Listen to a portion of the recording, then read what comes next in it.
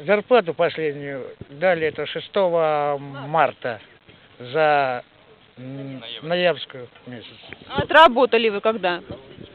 Последний месяц, в ноябре, 17 ноября. Получается, где-то полгода вы ждали зарплату. Да. Вот. Почему решили на такую меру сегодня выйти? А, потому что не платят.